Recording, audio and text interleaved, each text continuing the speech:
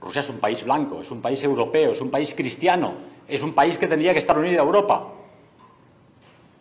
Pero el deseo geopolítico de Estados Unidos y Nilo Tempore es impedir a, impedir a cualquier precio que Rusia y Alemania puedan unirse, que era el deseo de Bismarck, por ejemplo, deseo fallido por culpa de Guillermo II, el Kaiser, y esa unión de la inteligencia, la capacidad, la tecnología, el, orden alemán con los enormes recursos naturales, humanos de Rusia, serían la solución para Europa.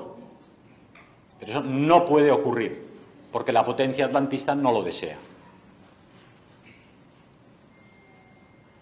De ahí que en este momento en que nosotros somos víctima, no de Putin ni de Rusia, porque no nos está afectando, somos víctima de la globalización, somos víctima de la sustitución de la población en España y en Europa, somos víctima de unos deseos de desaparición del dinero tender, del dinero cash, del dinero metálico, para que solo exista el dinero digital y poder controlar totalmente lo que tenéis y dejáis de tener.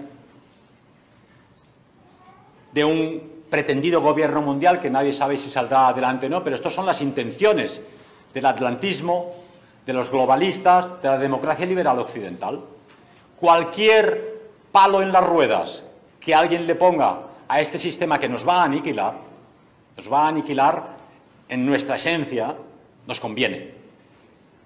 Y la política, como sabéis, es actividad con relación al poder. ¿Qué nos conviene a nosotros? Pues que Putin no pierda esta guerra y que Estados Unidos tenga que decir, eh, tenemos que ir con cuidado, porque además Putin tiene a China, tiene a la India, tiene a Sudáfrica, tiene a Brasil, que no sea un mundo tan unipolar.